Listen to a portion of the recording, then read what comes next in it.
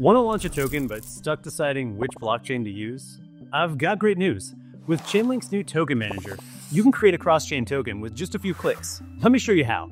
First, head to test.tokenmanager.chain.link and connect your wallet. Once you're in, you'll see your dashboard. Based on your connected wallet, it'll automatically display your cross-chain tokens. Today, we're creating a new one. But quick tip, you can also enable cross-chain features for existing tokens. Check the CCIP docs for more compatibility requirements. All right, back to our token. Let's create our token. First, we're going to choose our first blockchain. I'm using Base Sepolia. Give your token a name and a symbol. Set your supply cap and initial mint amount. This goes straight to your wallet. And pick up to two additional chains. But don't stress, you can add more later. I'll add Avalanche Fuji. Let's deploy it. So you'll need to deploy the token and pool, accept the admin role, confirm ownership on each network. And just like that, we're live. Let's check out what we can do.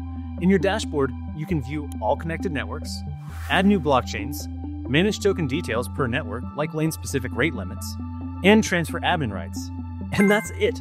Cross chain token deployment made simple. Your token is now ready to seamlessly flow between chains with the robust security of Chainlink CCIP. Make sure you like and subscribe for more on the latest Chainlink products.